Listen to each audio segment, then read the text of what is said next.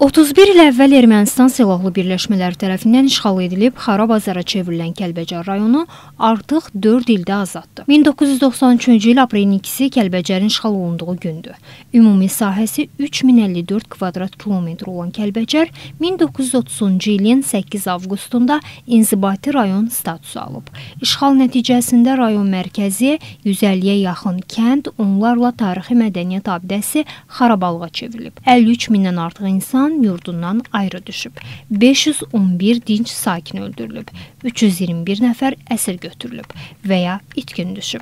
Rayona 761 milyon Amerika Birləşmiş Ştatları dolları məbləğində ziyan dəyib. Kəlbəcərin işğalı ilə bağlı BMT Təhlükəsizlik Şurasının 822 saylı qətnaməsi çox uzun illər icra olunmadı. 30 aprel 1993-cü ildə BMT tərəfindən qəbul edilən Kəlbəcərdə hərbi əməliyyatların dayandırılmasını tələb edən sənəd heç bir nəticə vermədi. Bu işğaldan sonra e, artıq aprel ayının 14-də e, Birləşmiş Millətlər Təşkilatının baş katibinin bir məruzəsi oldu və ondan da bir 16 gün sonra aprel ayının 30-da artıq işğalın təxminən 1 ay tamamında e, Birləşmiş Millətlər Təşkilatı 822 saylı qətnamə qəbul etdi.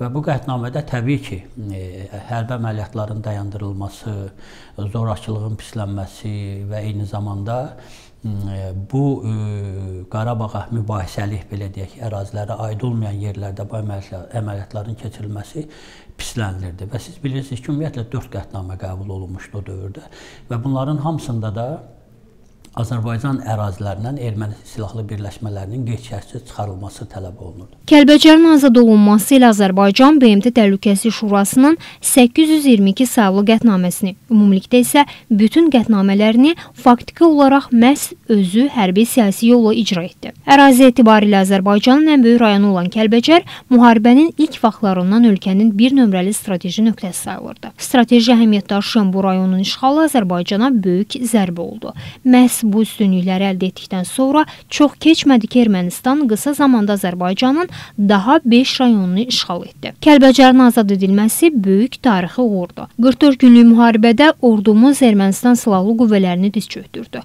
Ermənistan üz-üzə qaldığı ağır məğlubiyyətin nəticəsində Kəlbəcər rayonunu döyüşsüz geri qaytarmağa məcbur oldu.